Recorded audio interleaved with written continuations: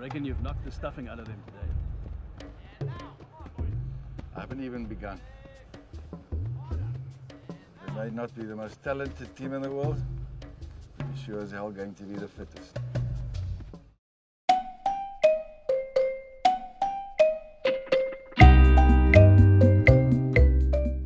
Écrire un roman, c'est un peu comme participer au Tour de France. On ne se lève pas simplement un matin en se disant qu'on va le faire et que ça va bien se passer. Pour que ça fonctionne, il faut commencer par s'entraîner, se préparer, se mettre en forme, tenter des compétitions moins longues ou moins exigeantes avec moins d'étapes. Bref, si vous voulez faire le Tour de France sans lâcher en cours de route, il va falloir que vous preniez l'habitude de pédaler tous les jours, par tous les temps et sur tout type de terrain. Et ça ne vient pas du jour au lendemain. À bien des égards, l'écriture est comparable à une activité sportive. Quand on commence à faire du sport, au départ, notre corps est tout flasque, nos performances laissent clairement à désirer, et c'est très difficile de faire le moindre mouvement sans souffrir atrocement. Et puis, à force d'entraînement, on est plus en forme, on devient plus performant, on tient plus longtemps, et l'activité devient beaucoup plus agréable. Eh bien, écrire, c'est tout à fait pareil, sauf qu'au lieu d'être un exercice physique, c'est un exercice intellectuel. Ça va vous demander de faire appel à certaines capacités que vous n'avez pas forcément l'habitude de solliciter. Votre créativité, votre concentration, votre habilité à résoudre des problèmes complexes, votre empathie, etc. Au départ, donc, quand vous vous y mettrez, ce sera laborieux, difficile et franchement peu probant. Mais à force de vous y mettre, votre cerveau va petit à petit s'habituer à l'exercice et vous allez développer les capacités intellectuelles nécessaires pour écrire de plus en plus naturellement, de plus en plus facilement. Et de la même manière que si vous arrêtez le sport tout un été, vous aurez du mal à reprendre le rythme à la rentrée, chaque fois que vous ferez une pause dans l'écriture, vous devrez ensuite faire l'effort de vous y remettre. C'est pourquoi la plupart des auteurs vous recommanderont, à juste titre d'ailleurs, de prendre l'habitude d'écrire au moins un peu tous les jours, qu'il arrive et où que vous soyez, juste pour conserver votre cerveau en forme. La question est donc comment acquérir cette discipline d'esprit? Comment prendre les bonnes habitudes pour bien écrire tous les jours, pour qu'écrire devienne un exercice aussi naturel que de marcher ou de respirer Je l'ai dit dans ma précédente vidéo, les auteurs ont deux problèmes majeurs, deux biais comportementaux qu'ils doivent absolument corriger. Prendre les bonnes habitudes, c'est donc avant tout lutter contre ces travers. Tout d'abord donc, il vous faut lutter contre cette tendance que nous avons à sans cesse repousser l'écriture de nos projets. Et la bonne nouvelle, c'est que si vous avez l'habitude d'écrire tous les jours et de changer de projet assez régulièrement, ce problème disparaîtra de lui-même. Quand on a l'habitude d'écrire aussi régulièrement, croyez-moi, on a toujours de nouveaux projets en tête, on a toujours envie de continuer et on passe de l'un à l'autre beaucoup plus naturellement. Le truc donc, c'est surtout de se forcer à commencer à écrire et à écrire de manière régulière. Et si vous n'en avez pas encore l'habitude, vous trouverez ça très difficile de le faire par vous-même. Mon conseil est donc le suivant. Placez-vous dans un contexte où vous avez l'obligation d'écrire. Alors, bien sûr, il ne s'agit pas de s'attacher à une chaise devant son ordinateur jusqu'à ce que les mots finissent par sortir. Non. Ce que je veux dire, c'est que vous devez vous placer vous-même dans des contextes sociaux où écrire est une obligation pour pouvoir avancer. Par exemple, vous pouvez participer à des ateliers d'écriture pas loin de chez vous, il y en a sûrement si vous prenez le temps de chercher. Dans ces ateliers, on vous donnera tout plein d'exercices à faire chez vous ou pendant l'atelier et vous serez ainsi contraint d'écrire. Participez aussi à des forums RP, vous aurez besoin d'écrire très régulièrement pour pouvoir faire avancer l'histoire de votre personnage, mais vous aurez aussi des tas de partenaires de jeu qui vous tanneront pour que vous écriviez. N'hésitez pas non plus à répondre à des appels à texte, il y a des dates limites de rendu, ça vous forcera à vous y mettre, même si c'est à la dernière minute.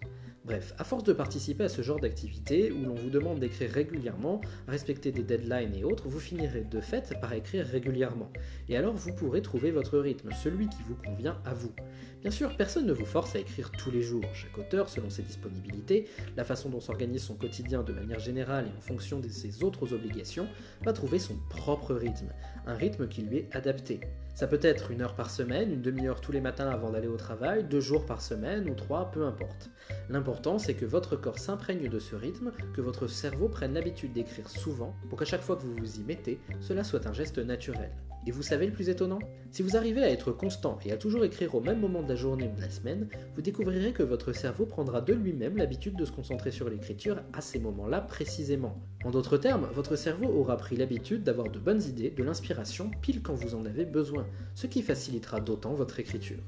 Voilà, une fois que vous avez pris l'habitude d'écrire régulièrement, détachez-vous petit à petit de ces contraintes et commencez à prendre l'habitude d'écrire pour vous-même vos propres projets personnels. Pas forcément tout le temps, mais au moins une fois de temps en temps. En bref, prenez l'habitude d'écrire régulièrement de votre propre chef. Et ne le faites pas tout d'un coup, prenez le temps d'opérer la transition. Réservez d'abord un dixième de votre temps d'écriture à ça, puis un quart, puis la moitié, etc. Mais surtout, n'allez jamais plus loin dans la démarche sans vous être assuré que vous pouvez conserver votre rythme, même en travaillant sans obligation autre que celle que vous vous imposez vous-même. Une fois que vous aurez l'habitude d'écrire régulièrement et sans avoir besoin d'y être contraint, vous pourrez alors vous attaquer au second problème que rencontrent les auteurs, cette incroyable tendance à ne jamais finir le moindre projet. Là encore, il s'agit de s'exercer, de prendre l'habitude de terminer ce que vous écrivez, d'y trouver satisfaction et plaisir et de ne surtout plus en avoir peur. Et c'est pour ça que je ne vous conseille pas, mais alors pas du tout, de commencer par écrire un roman. Et encore moins de commencer par cette fameuse saga en 12 tomes. Je vous l'ai dit, écrire un roman, c'est un peu comme participer au Tour de France. Vous risquez de vous brûler les ailes si vous voulez commencer par là. Mon conseil est donc le suivant. Commencez par écrire petit et forcez-vous à aller au bout de ces petits projets avant de passer à des écritures plus longues et plus conséquentes. Commencez par écrire de petites nouvelles d'une ou deux pages. Prenez l'habitude de les écrire, de les corriger et surtout, c'est le plus important, de les considérer comme achevées au bout d'un moment. Puis, une fois que vous en aurez écrit plusieurs, attaquez-vous à des nouvelles plus importantes, plus conséquentes. Et, de la même manière, assurez-vous que ces projets soient bien terminés avant d'en commencer d'autres.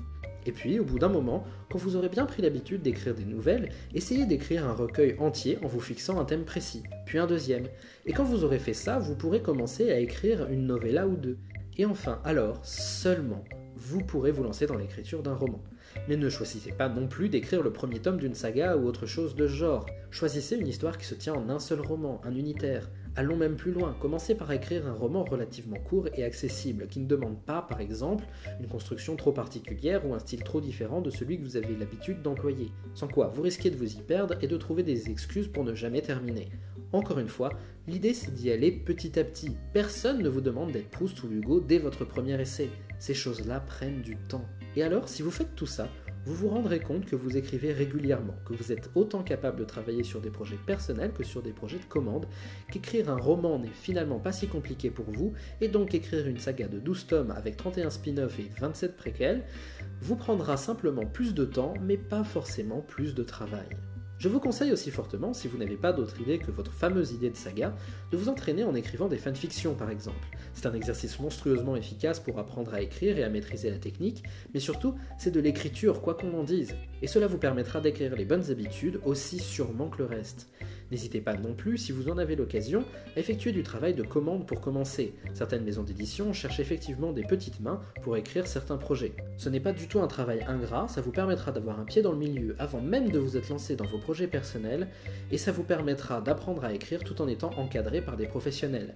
Mais surtout, avoir un commanditaire sur le dos vous forcera très vite à prendre les bonnes habitudes, croyez-moi sur parole. Et au pire, reconvertissez un ami en coach sportif. Mais surtout, surtout, Quoi qu'il arrive et quoi que vous écriviez, prenez dès le départ l'habitude de confronter votre travail au regard du public. Faites lire ce que vous écrivez à vos proches, oui, mais pas que. N'hésitez pas à l'envoyer à des éditeurs, à le publier sur Internet, à demander à des inconnus de vous relire et de vous donner leur avis. Utilisez des plateformes comme Wattpad, mettez vos fanfictions en ligne sur fanfiction.net, participez à des forums d'auteurs et soumettez à leur regard vos productions. Quelque part, c'est ça le plus important. Beaucoup trop d'auteurs ont peur du regard des autres, de la réception que l'on réserve à leurs textes, et c'est ça qui fondamentalement les bloque plus qu'autre chose. Et c'est vrai que vous devrez faire face à beaucoup d'indifférence, qu'il y aura toujours des cons pour mépriser ce que vous faites et vous conseiller d'arrêter. Mais le plus tôt vous vous confronterez au public, le plus tôt vous aurez l'habitude de recevoir ce genre de critiques, le mieux ce sera. Car ça fait effectivement partie du métier. Ne l'oubliez pas, a priori vous n'écrivez pas pour vous-même, mais pour transmettre vos histoires aux autres, et pas seulement à vos proches ou à un cercle de lecteurs bien spécifique, mais à tout le monde. Vous n'écrivez pas pour que votre roman, une fois terminé, finisse au fond d'un tiroir dont vous aurez jeté la clé. Non, vous écrivez pour être publié, pour que des gens vous lisent, vous admirent et vous en redemandent. Assumez-le dès le départ ou, croyez-moi, il vous en coûtera. Alors le plus précieux conseil que je puisse vous donner est le suivant. Cherchez toujours, quoi qu'il arrive, à publier ou à faire publier vos écrits, quels qu'ils soient, et quelle que soit leur qualité. Bien sûr, vous aurez toujours des abrutis pour dénigrer votre travail, mais vous découvrirez très vite qu'il y a aussi beaucoup de monde pour vous encourager, pour aimer ce que vous faites, pour en redemander, et même quelques personnes qui auront la gentillesse de partager avec vous leurs précieux conseils, ce qui vous permettra de vous améliorer bien plus vite que vous ne l'imaginez. Alors, si vous voulez écrire des romans, si vous voulez vraiment écrire des romans, prenez l'habitude d'être lu. Se confronter à la réception du public, quelle qu'elle soit, doit être, pour l'auteur, un geste aussi naturel que celui d'écrire. Alors, bien sûr, certains me diront que c'est bien beau tout ça, mais que ça prend du temps, des années de travail et d'exercice, que ça n'a rien de facile. Ce à quoi je répondrai que je n'ai jamais prétendu le contraire et que si vous vous attendez à devenir auteur du jour au lendemain, vous allez au devant de jolies surprises. Et d'autres me diront aussi qu'il faut déjà pas mal de courage et d'efforts pour se mettre à tous ces exercices. Ce à quoi je répondrai que, franchement, Si vous n'avez pas envie de commencer à faire ces efforts-là, c'est peut-être que dans le fond, vous n'avez pas vraiment envie d'écrire, non? Et voilà, c'est tout pour cet épisode. Enfin un peu de concret. Bon, euh, c'est toujours de l'intro, mais c'est déjà ça. J'espère que ça vous a plu et intéressé. Si c'est le cas, vous commencez à connaître la chanson, likez, commentez, partagez et abonnez-vous. Passez aussi sur mon site où je publie tout un tas d'articles sur la technique d'écriture, le monde de l'édition et d'autres choses encore. Bref, sur ce, à la semaine prochaine et n'oubliez pas d'écrire.